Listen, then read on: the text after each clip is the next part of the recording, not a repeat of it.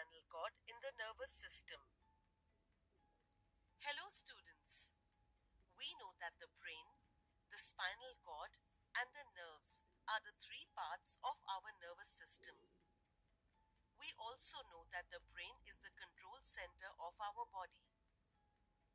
It helps us decide what actions to take in different situations. But how do signals travel parts of the body to the brain and from the brain to the other parts of the body? This transmission of signals is done by the spinal cord. It connects the brain with the rest of the body and helps in exchanging signals between the brain and the other body parts. Let us learn how this happens.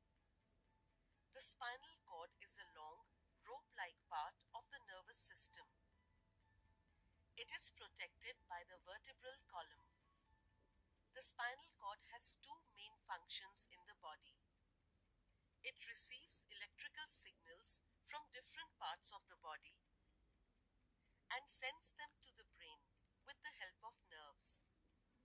For example, when we touch a hot surface with our hand, the signal from our hand is transmitted to the brain through the spinal cord with the help of nerves.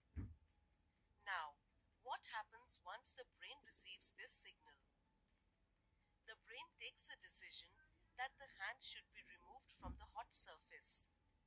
This decision is sent to the muscles in the hand in the form of electrical impulses. So, the second function of the spinal cord is to transmit signals from the brain to the rest of the body through nerves.